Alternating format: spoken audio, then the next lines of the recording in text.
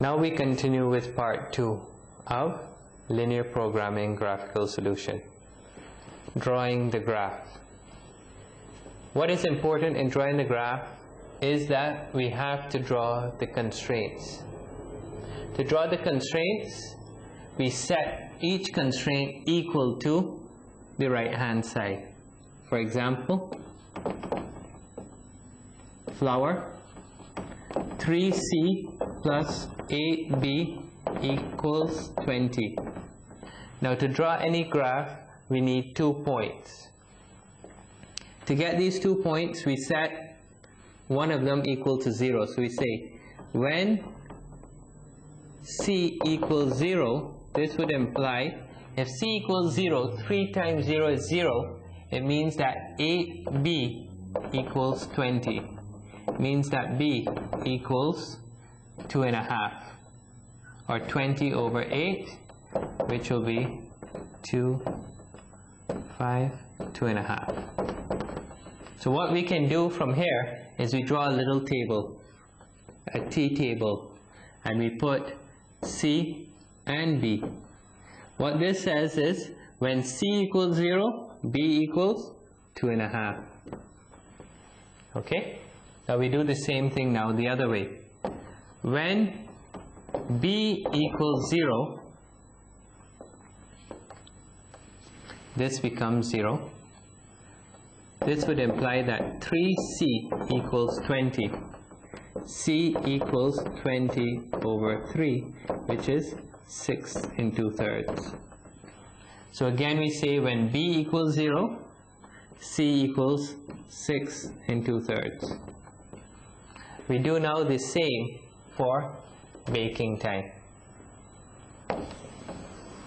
We set 45C plus 30B equal to 180 when C equals 0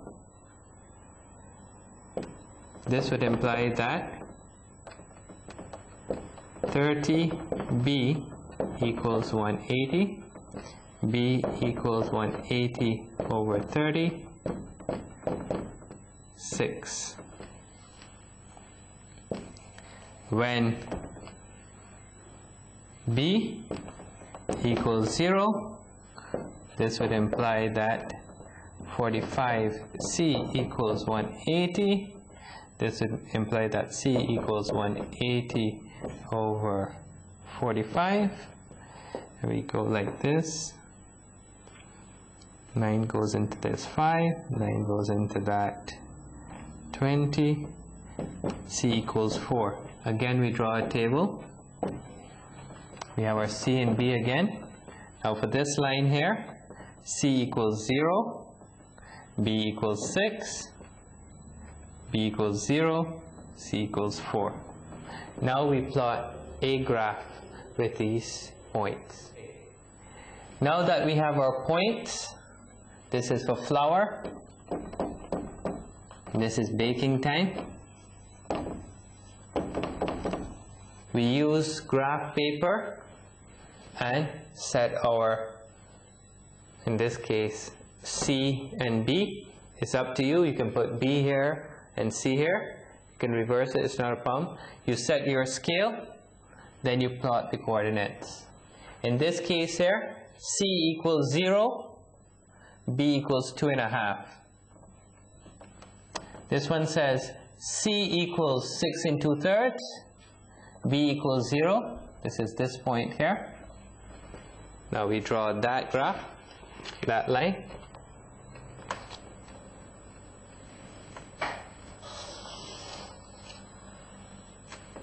This is a rough sketch.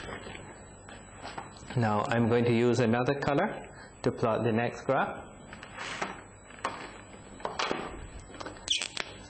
when C equals 0 here B equals 6 this is this point when C equals 4 B equals 0 it's that point we draw another graph line here no. You have to draw it accurately I'm just doing a sketch Okay. Now, this is your baking time. And the other one is your flour. Okay. Your next step after this is to determine now, this is a straight line for baking time. But remember that your constraint said less than or equal to. That less than or equal to refers to the region under the graph.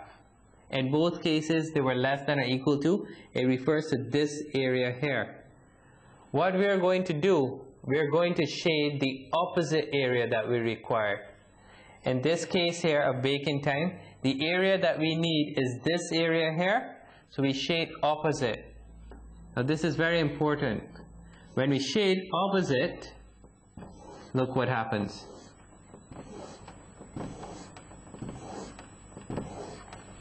Now, I'm going to shade now opposite on the other one.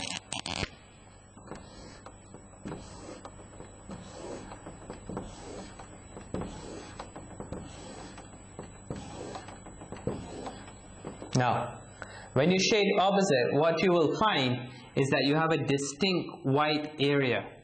This white area is called your feasible region. Now, we label it A, B, C, and D. This is your feasible region. These are your corner points or extreme points. Now, we have to answer the question. To answer the question, we would have to draw this to scale, draw our lines accurately, shade the region, then from the graph itself, work out each coordinate of these particular points. This is now the last step. We now solve. This is a corner point method. Now, this is point A, point B, point C, point D. These are the coordinates for point A. Now, C here means this C, and B here means this point. Now, what is point A? Point A is here, which is 0, C, and 0, B. 0, 0. Now, point B. Point B is 0, B, which is here, 0, B, and 4C. Again, this is representing C, this is representing B. Now, this point here is 0, 0. 0C, 0B. Point B now is 0B, which is here, 0, and 4C, which is here. Let's look at D. D is 0C, which is here, and 3B, which is here.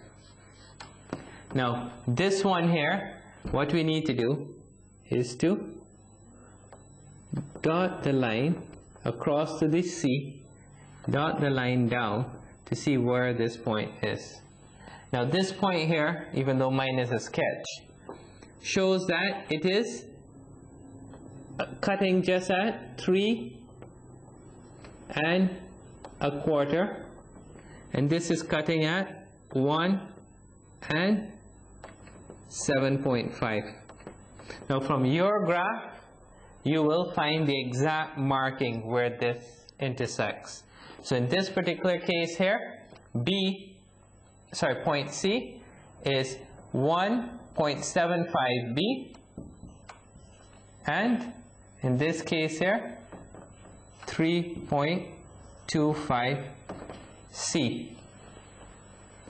Once we have these values here, we go back to the next, we go now to the next step. We know that point A was 0, 0. How much profit would we make if we sold zero bread and zero cakes, we will make zero profit. Now, in this case of B, we're selling four cakes and zero bread. Using the objective function, that would be 10 times 4 plus 6 times 0, which would be 0 here, 40 here, which is $40 you would make if you sold 4 cakes and 0 bread. Now, in this case here, we have 10 times 3.25 plus 6 times 1.75 and this would give us 10 by this 3250 now 6 fives at 30 5 950 so our total here would be $43 profit now this point here says 10 times 0 plus 6 times 3 for 3 bread that you sell. This is a total of $18. Now, from this we see the one with the highest profit is point C, which says sell 3.25 cake and 1.75 bread and you will have a maximum profit of $43. Now, after solving this, we write it into words. Our solution is we should sell 3.25 cakes, 1.75 bread, giving us a total profit of $43. This is how you solve a linear programming question, um, linear programming question, graphical solution. Thank you.